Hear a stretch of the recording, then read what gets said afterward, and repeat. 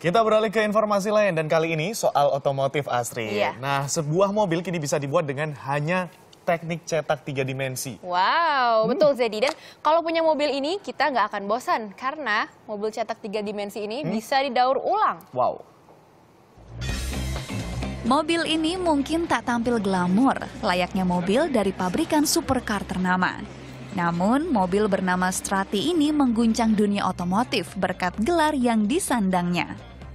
Strati adalah mobil pertama yang dibuat dengan cara dicetak. Tepatnya hasil cetak tiga dimensi. Badan mobil ini terdiri dari 212 lapis serat plastik karbon. Dengan bobot total sekitar 816 kg, mobil berkapasitas dua orang ini mampu melaju dengan kecepatan maksimal 40 km per jam. Yang menakjubkan, mobil pabrikan Local Motors ini dapat dicetak hanya dalam waktu 44 jam. Rencananya, pihak pengembang akan memutakhirkan proses produksi hingga 12 jam saja. Kejutan tak berhenti sampai di situ. Mobil cetak tiga dimensi ini juga bisa didaur ulang. and it is fully recyclable. So the good news is, while it's in its life, if it gets cracked or hurt or other things like that, you can take the components off that are not recyclable, recycle the material, get a credit for the cost of the material, and have a new vehicle.